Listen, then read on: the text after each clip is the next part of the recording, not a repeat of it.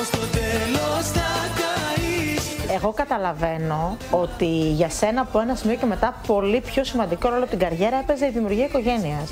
Ισχύει. Αυτό ισχύει, ναι, πραγματικά ήταν επιδίωξή μου άμεση και ειδικά με έναν άνθρωπο όπως έχω, που βρήκα όπως την Κέλλη, δηλαδή για μένα έναν άνθρωπος της ζωής μου. Τι είχε η Κέλλη που σε έκανε να παντρευτείς; Η Κέλλη είχε, κοίταξε, το... είχε την αγνότητα, είχε την απλότητα. Αυτό με έκανε και με τράβηξε περισσότερο κοντά της και με έκανε να θέλω να μείνω μαζί της ε, για πάντα. Όπως σου είπα, είναι ο άνθρωπος στη ζωή σου που λες πώς είναι ο άνθρωπος της ζωής μου. Για μένα είναι αυτός ο άνθρωπος της ζωής μου. Λένε τόσα για μας, λένε τόσα για μας και τι να σκεφτώ Γιατί σας χωρίζουν στα δημοσιεύματα; Ε, κοίταξε, τα δημοσιεύματα υπάρχουν, ε, αλλά υπάρχουν, Στεναχωρούν. ξέρεις, Πραγματικά σας στεναχωρούν. μπαίνω στο μυαλό και στη σκέψη των παιδιών, αν ε, Κάτι διαβάζουν. αυτά ακούσουν στο σχολείο. κάτι ακριβώς πλέον, αν και σε μικρή ηλικία, πλέον ξέρεις τα παιδιά προχωράνε πολύ γλίγορα και το ίντερνετ τώρα είναι ένα μέσο το οποίο το λειτουργούν και αυτοί πολύ εύκολα.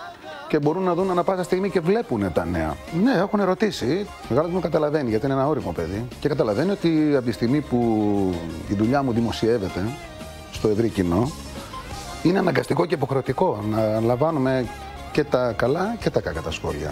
Πήρες της ζωής μου τα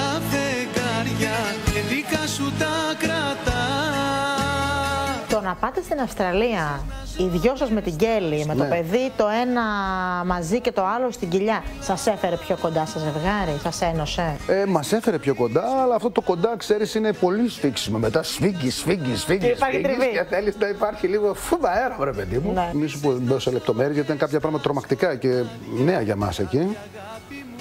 Να σου πω μόνο όταν πήγα να γεννήσουμε, δηλαδή 5 ώρα το ξημερώματα μας είπαν ότι δεν έχει αρχίσει η βάρδια. 7 η ώρα αρχίζει η βάρδια. Και ήταν μόνο μια κυρία εκεί μέσα, 65 χρονών. Ήταν σαν θρύλε, δηλαδή πάταμε.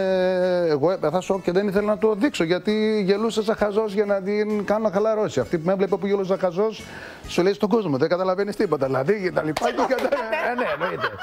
Και σ' αγαπάω όσο ποτέ ζητάμε απόψε ό,τι θες Της καρδιάς μου οι πόρτες είναι ανοιχτές Το 18 για σένα πώς ήταν σαν χρονιά; Το 18 ήταν μια πολύ δύσκολη χρονιά. Γιατί; Ε, ήταν πολύ δύσκολη χρονιά να σου πω, γιατί έχω μ, μέσα στην οικογένεια, εκτός από τα ωραία που λέμε μπορεί να είχαμε, είχαμε και πολλές άσχημες στιγμές, ε, κάποιες στιγμές οι οποίες ε, μ, ε, για να τις ξεπεράσουμε προσπαθήσαμε πάρα πολύ. Φέτος έκανα κάτι στο οποίο είχα κάνει πάλι πριν 4 χρόνια, πριν στην Αυστραλία Ε, και το κάναμε και με την Κέλλη τώρα, κάτσαμε και γράψαμε αυτά που έχουμε αυτή τη στιγμή, αυτά τα αρνητικά που έχουμε. Και στην άλλη σελίδα γράψαμε τα καλά που έχουμε στη ζωή μας. Μπορώ να σου πω ότι τελικά τα καλά είναι πολύ περισσότερα. Μέρα με τη